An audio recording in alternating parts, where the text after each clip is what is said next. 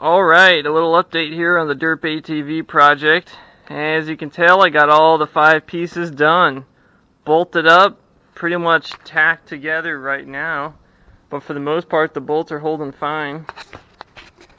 As you can tell, you got your bolted interfaces on the front section. You got five bolts on this side, five bolts on that side. As you can tell, I got the belly plate done too essentially what it is is just a flat sheet with a skeleton of box section. So that will carry my exhaust gases to each wheel end, just like how the Sherp does it.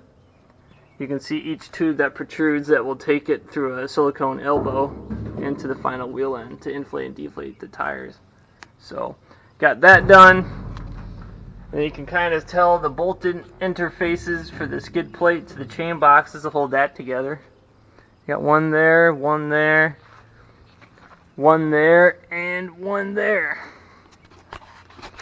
And then your bolting interface for the rear section is on the back here. You got five bolts on this side, and five bolts on that side. Of course, I just removed some of them because I didn't need them in the first place. So in the future, I'm going to have to do some through bolts to make it work better. But it's a learning experience here. Got some tack bars I'm running across just to give it some more stiffness as I roll it around for better welding positions.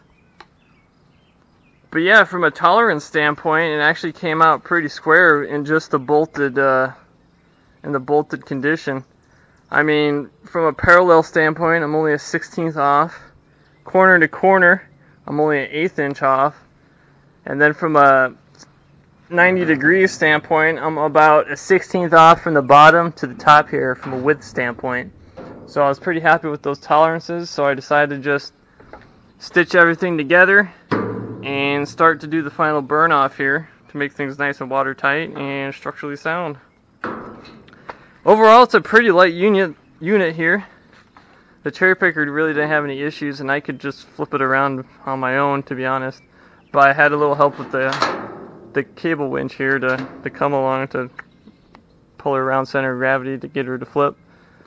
But yeah, uh, one of the big changes I'll do in the future on perhaps a pilot model is uh, give this a little bit of an overlap so that way your sheeting can kind of splice on top of it.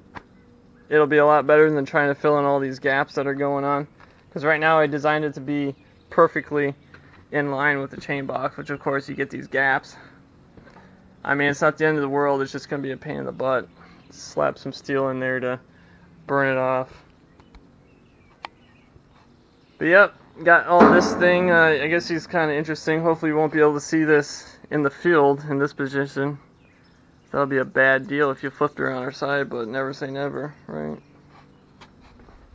But yeah, besides the weldment there, well, hold on. I did get the bumper done too. Some uh, two inch pipe right there. I got some uh, D-rings coming in too that I'm going to weld on for recovery points. Um, I did get one of my final drive sprockets welded up. I ran out of welding gas, so I couldn't really do much after the fact. Got some of my exhaust adapters kind of welded up too, along with the tensioner components for the chain drive system. Like I said, it's a lot of little knickknack stuff that I got done too, so. Slowly gaining, slowly gaining.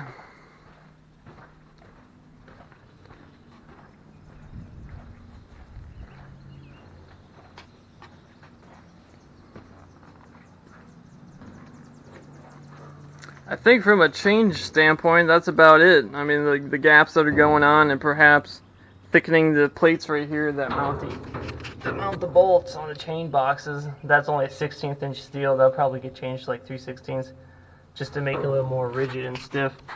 So that way when you bolt this thing together, it wants to just clamp right down. But yeah, what I what it turned out with the uh, the interface here, it just turned out that the uh, the fillet weld was interfering with the bend radius. Turns out I uh, misjudged the bend radius. It's a little bit smaller than I anticipated, so it was actually interfering. So all I had to do was just go back with the angle grinder, buzz down the reinforcement off the weld, and she bolted nice and clean as you can tell here.